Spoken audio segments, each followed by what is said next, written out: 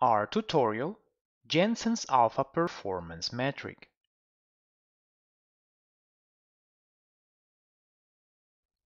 Portfolio performance metrics consist of portfolio expected or realized risk premium by unit of risk. This topic is part of investment portfolio analysis with R course. Feel free to take a look at course curriculum by clicking link at description box below.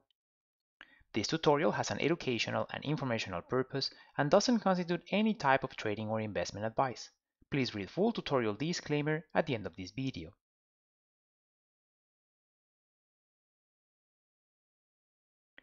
Jensen's alpha consists of estimating asset average realized excess return through the difference between asset average realized return and its theoretically estimated expected return using capital asset pricing model or CAPM.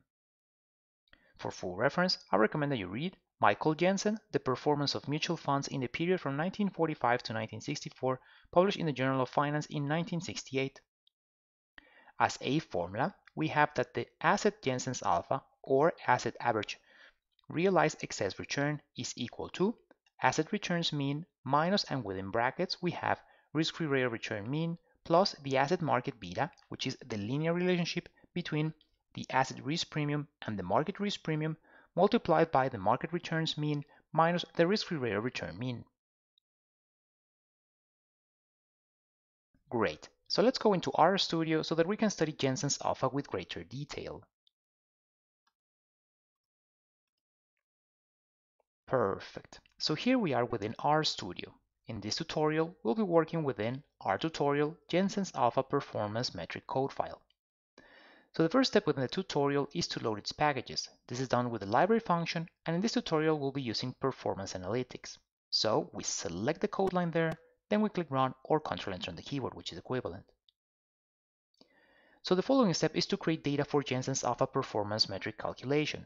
This is done by creating a returns object, which is equal to read.csv, and within it we have the name of the data file, Jensen's alpha performance metric data as a plain text file with .csv or comma separated values and stored within the working directory, comma header equals to true. So we select the code line, then we click run or Ctrl enter on the keyboard. So notice that this creates a returns object within the global environment as a data frame. And if we click on the spreadsheet kind of icon, this opens the data for us. We have three columns of data. First dates, dates with a monthly frequency from the beginning of 2007 all the way to the end of 2016, therefore 10 years of data. Then we have SPY.RF, which corresponds to the asset risk premium. The asset, SPY, which is the ETF investment vehicle which intends to replicate the Standard & Poor's 500 index. Therefore, here we have SPY monthly arithmetic returns minus the corresponding month, month risk-free rate of return, therefore the asset risk premium. Then we have MKT.RF, which corresponds to the market risk premium. Therefore, here we have the market portfolio monthly arithmetic returns minus the corresponding month risk free rate of return, therefore the market risk premium. So going back into the code file, the following steps we're going to convert that data frame into an XTS. So we're going to overwrite returns as an XTS or extensible time series. Therefore, we select from the returns object columns 2 and 3 with those corresponding risk premiums, the ones for the asset and the other one for the market, comma order by equals as date, capital D, returns with the first column with those dates. So we select the code line, then click run or control enter on the keyboard. So reopening the data here, we can see the same data as before, but now the dates became its index. So back into the code file, once we have the data ready, we can continue with Jensen's alpha performance metric calculation. So first of all, we're going to do it through a linear regression. So here we have the summary function of LM or linear model, in which first we have from the returns object with the dollar sign, we select SPY.RF or the asset risk premium Therefore, this corresponds to the dependent or explained variable, which is being explained by, and also from the returns object with the dollar sign, we select mkt.rf, which corresponds to the market risk premium, which is the independent or explanatory variable. So we select the code line there, click run or control enter on the keyboard.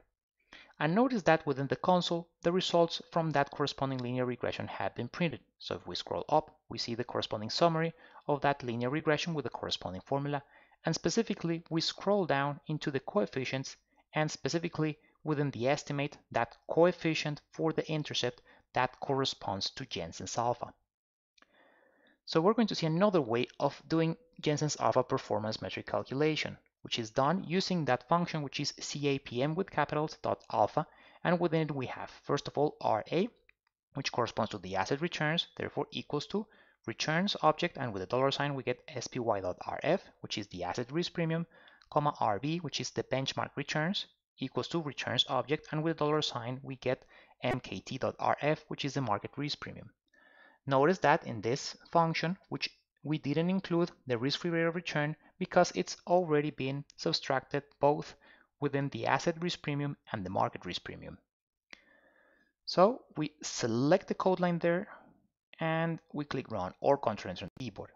And notice here within the console that the corresponding Jensen's alpha calculation has been printed right here using capm.alpha function and we see that this result is the same as the one we obtained within the linear regression with that corresponding intercept coefficient or estimate.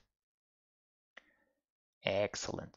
So now that we finished studying Jensen's alpha performance metric, let's go back into the slides.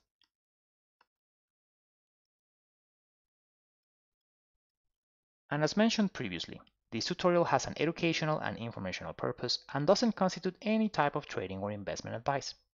Please, pause the video now so you can read the full tutorial disclaimer. Okay, so with this, we finish this tutorial. Thank you for watching.